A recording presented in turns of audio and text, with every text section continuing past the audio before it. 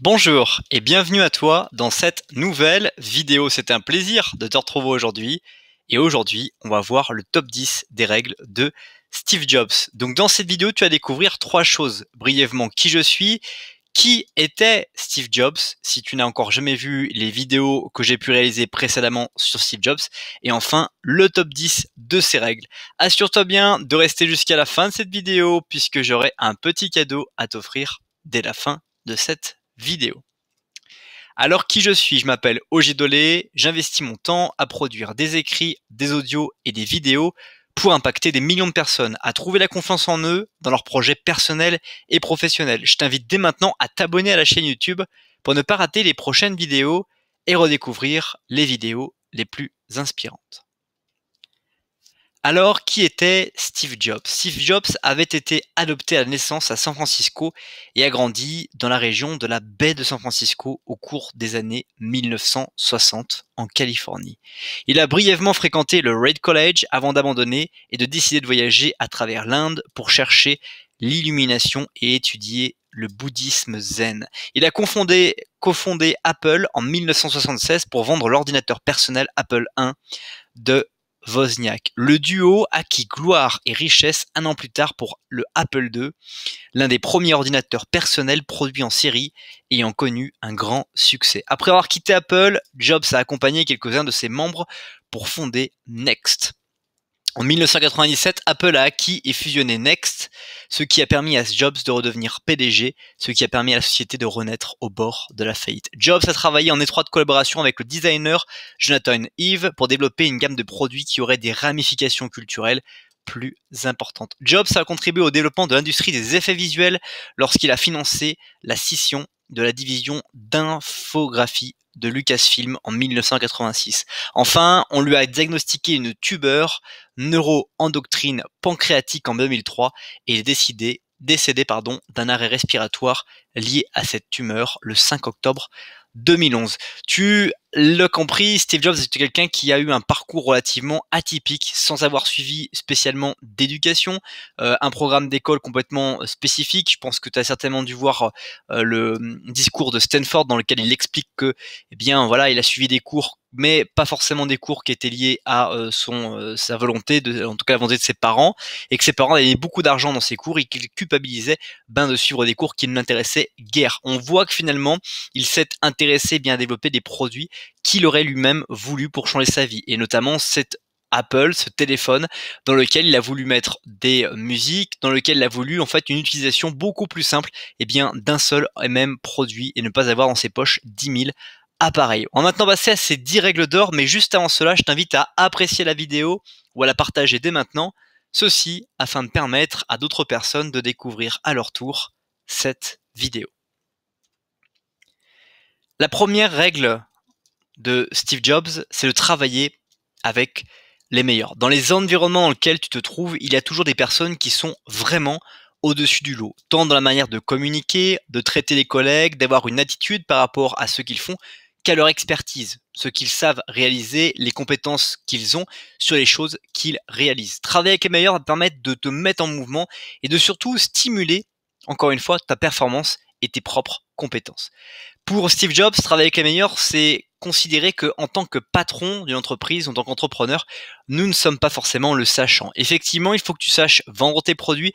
Effectivement, il faut que tu saches consolider et créer un groupe dynamique pour avoir tes résultats, mais pour autant, tu n'es pas forcément obligé, et même plus tu vas l'être et moins tu vas réussir à parfaire dans ton entreprise, d'être expert du domaine dans lequel tu vas justement avoir besoin d'avancer.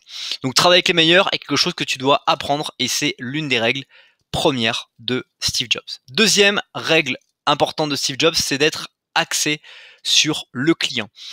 Tu le sais certainement, mais le marketing, c'est l'art d'observer le comportement d'un client. Comment mon client euh, se comporte-t-il par rapport au produit ou au service que je souhaite lui délivrer? Par exemple, si tu es dans le chauffage ou la climatisation et que tu observes un client, tu vas observer son comportement par rapport au chauffage et climatisation.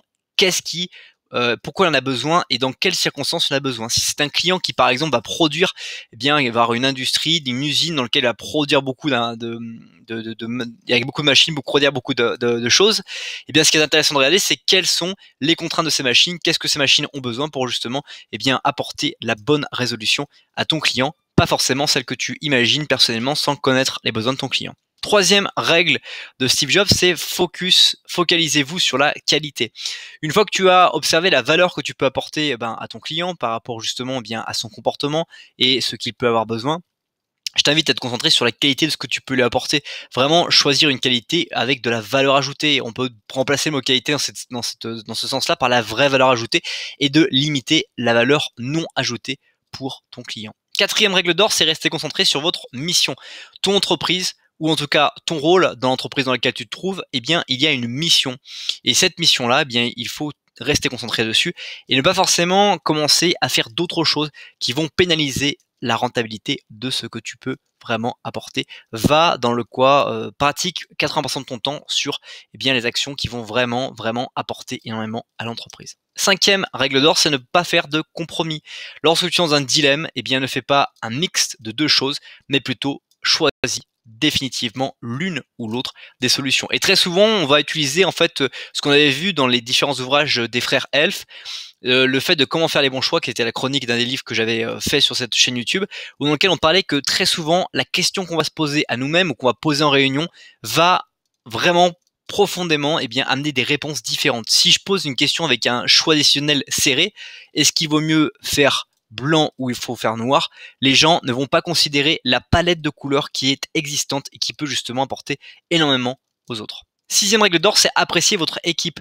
Il n'y a pas de réussite seule et c'est justement en appréciant votre équipe, en appréciant les membres qui la composent, quelles que soient leurs différences, leur personnalité et toutes les euh, choses et les facettes de leur personnalité, eh vous allez réussir à construire un collectif qui développera la valeur attendue in fine. Septième règle d'or, c'est faites les bonnes choses. Quelles sont les bonnes choses que vous devez faire? Comment les réaliser? Encore une fois, votre équipe est là pour ça. Apprenez à échanger votre, votre équipe dans un processus d'amélioration continue, car il n'y a que comme ça que vous arriverez à développer des capacités extraordinaires. Huitième règle d'or, c'est créer un avantage concurrentiel. C'est ce qu'a fait euh, Apple, on a vu aussi dans cette euh, chaîne YouTube, eh bien l'ouvrage euh, stratégie au sang bleu, une stratégie au sang bleu, c'est sortir d'un milieu concurrentiel et donc d'avoir un avantage concurrentiel. Créer un avantage concurrentiel, c'est finalement observer sur un marché donné quels sont les critères de compétition entre les différentes marques, c'est-à-dire par exemple euh, les gens ont besoin de s'habiller, c'est un comportement, ils s'habillent chaque matin.